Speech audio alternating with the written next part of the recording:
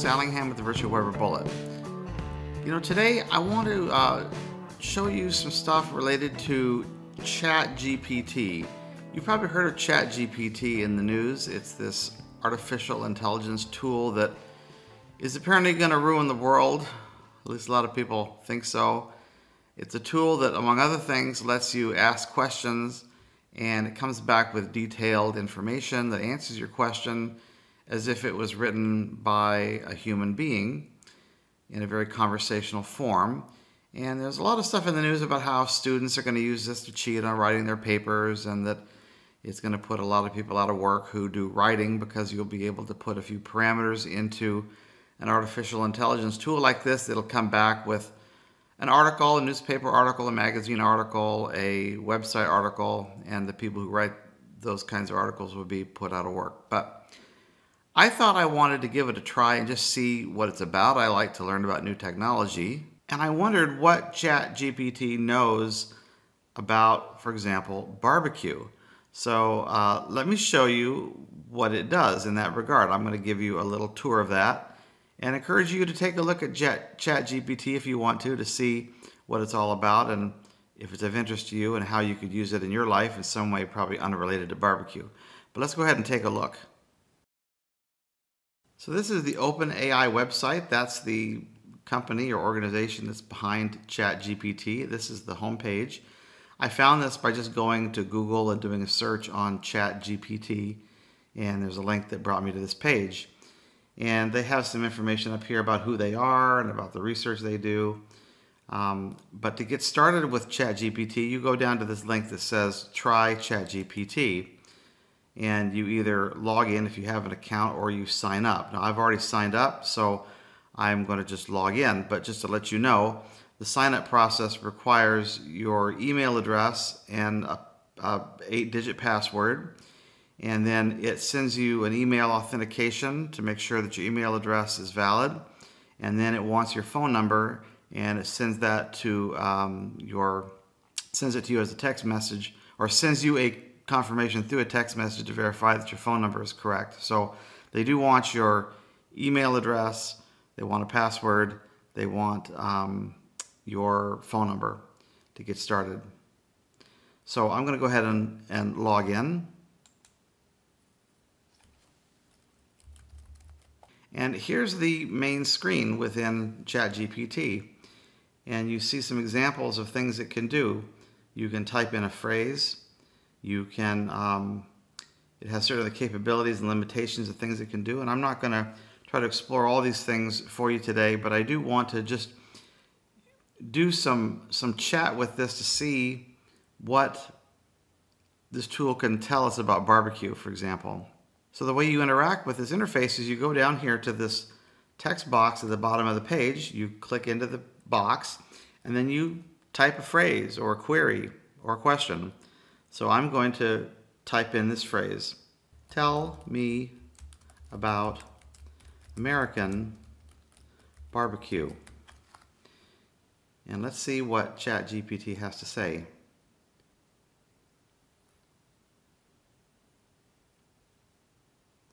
You can see that in real time it's coming up with some text that describes or it's in response to the question I've asked.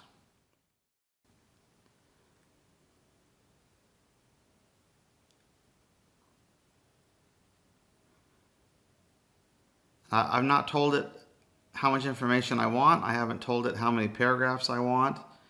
This is an actual live response to the question I asked, tell me about American barbecue.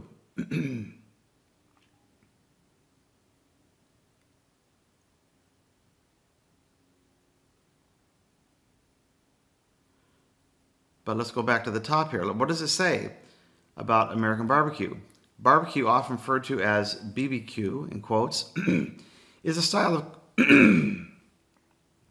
is a style of cooking that originated in the southern United States and is characterized by slow cooking meat, usually beef, pork, or poultry, over low heat for an extended period of time, often with the use of wood smoke for added flavor.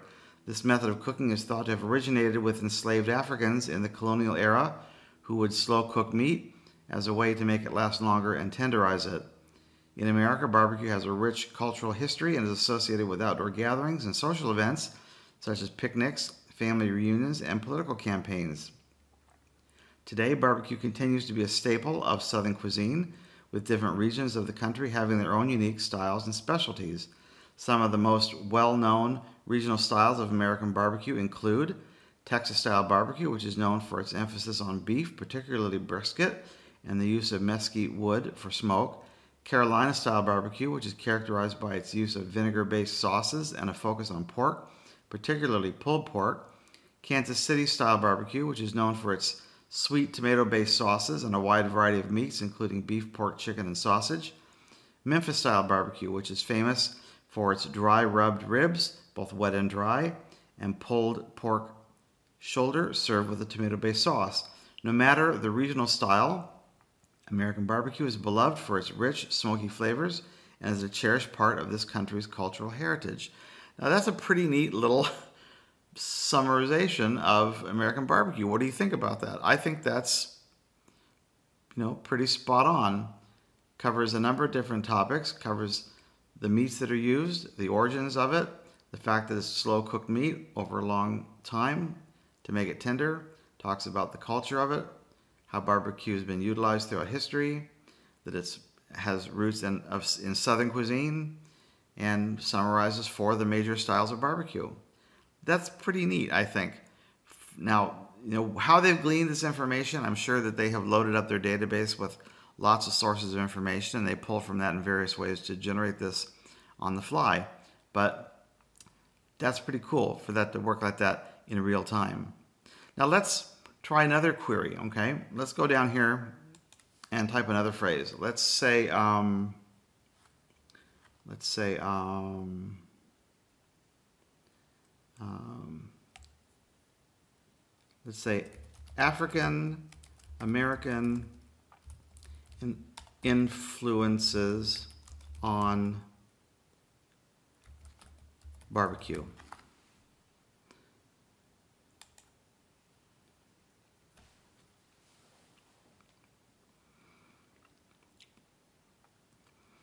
African American influence on barbecue is significant and deeply rooted in the history and culture of the southern United States.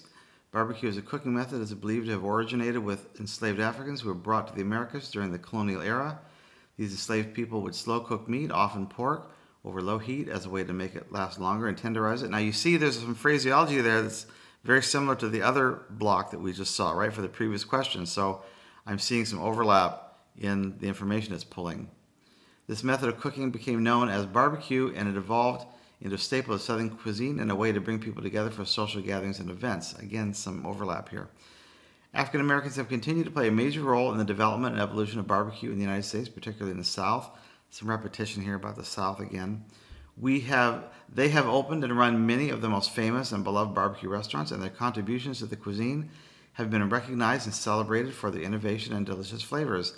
Some of the most well-known African American pitmasters and barbecue restaurateurs include Ed Mitchell, Leo Pitmaster Reed, and Joe Duncan. So that's interesting. That's actually pulled some names uh, of African American pitmasters that are well known.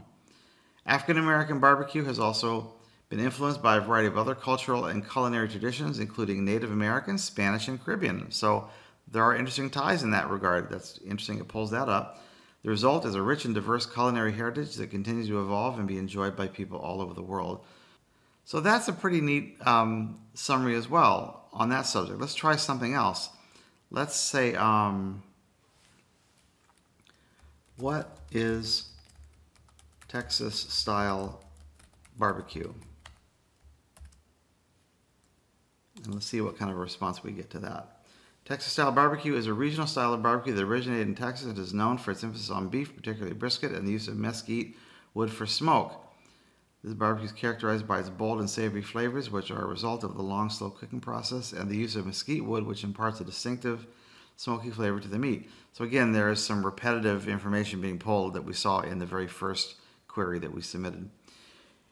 In Texas, beef is considered king, and brisket is the star of the show. Texas-style brisket is usually rubbed with a blend of spices, including salt, pepper, paprika, and cumin, and slow cooked over low heat, often for several hours until it's tender and juicy. The meat is then sliced and served with a simple sauce if desired, allowing the flavor of the smoke and spices to shine through. Other popular meats in Texas style barbecue include ribs, sausage, and pulled pork, which are also slow cooked over mesquite wood for added flavor.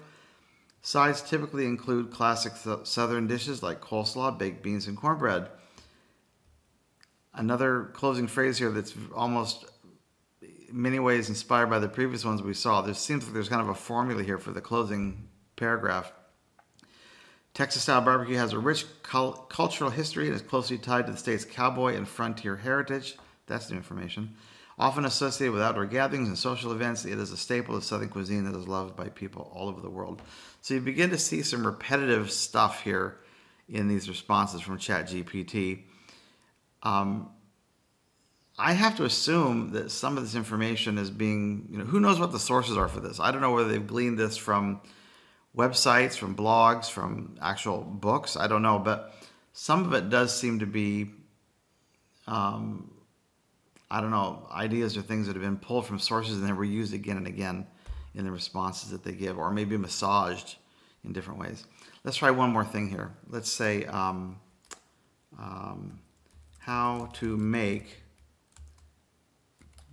barbecued brisket.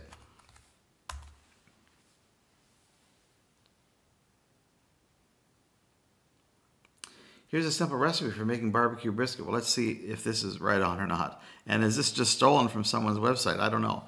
Ingredients, one whole brisket, 10 to 12 pounds. That's a good size for the Smokey Mountain cooker.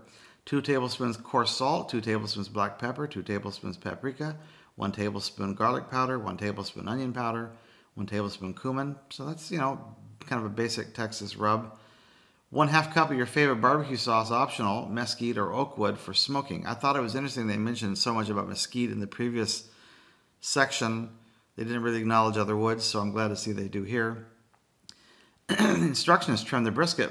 Remove any excess fat from the brisket, leaving a fat layer of one quarter inch thick. That's pretty good advice. Keep the meat moist during cooking. Make the rub in a small bowl. Mix together the salt, pepper, paprika, garlic powder, onion powder, cumin, Rub the mixture evenly over the entire brisket, making sure to cover all surfaces. Set up the smoker by filling the smoker with mesquite or oak wood and light it according to the manufacturer's instructions. Set the temperature to 225. That's a good temperature, low temperature, 225. I would do 275 these days. Um, filling the smoker with mesquite or oak wood assumes that this is a stick burner, I guess. Smoke the brisket. Place the brisket in the smoker, fat side up. That's a good recommendation in a stick burner. In the Smokey Mountain cooker, I usually do it fat side down since the heat source is coming from below.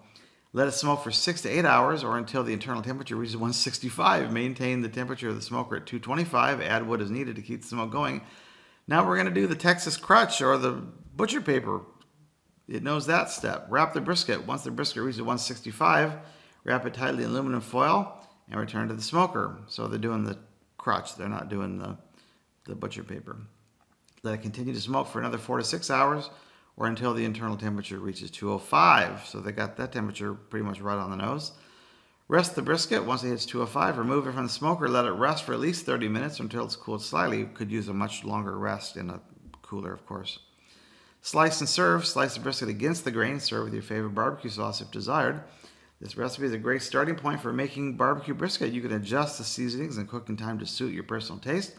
The most important thing is to be patient and allow the brisket to smoke low and slow for the best flavor and texture.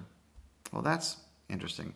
Now, I notice there's a button here called Regenerate Response. Let's see if that does anything different.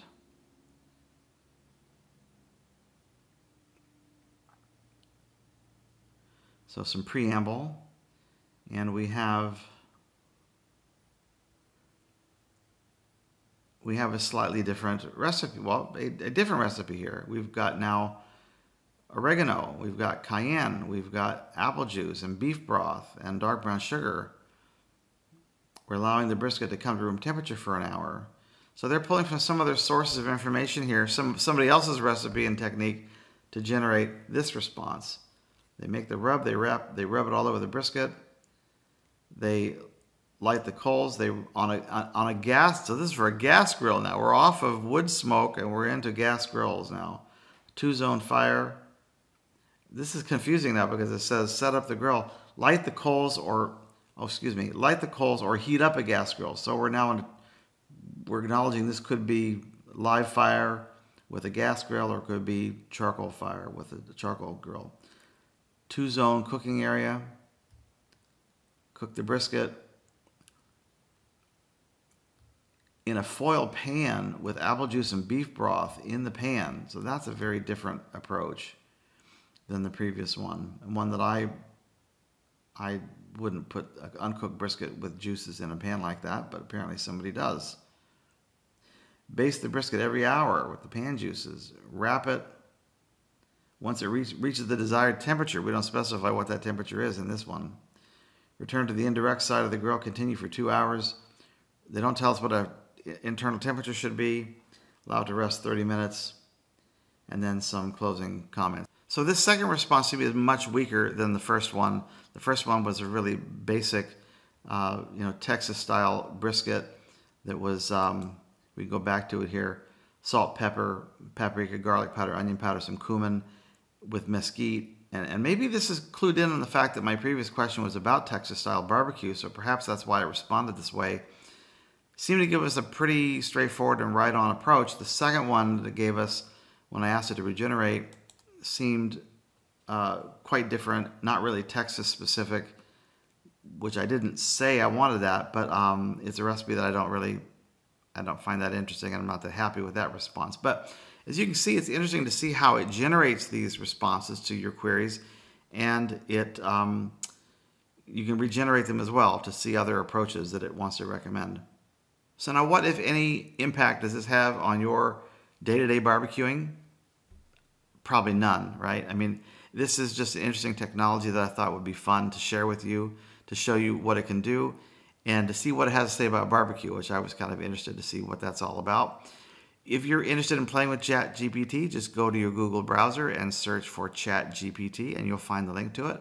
Sign up for an account, and you can have fun playing with this technology too. I hope you enjoyed seeing this video. I want to thank you for watching. I want to thank you very much for your support. I really do appreciate it if you would take a moment to like this video. I, if you got this far, please, please like it. And uh, if you would subscribe to my videos, it helps other people find them. Google recommends videos more that people have for channels that they've subscribed to. So thank you in advance for doing that. I really appreciate it.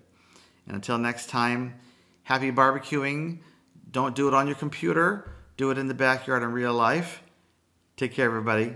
Bye-bye.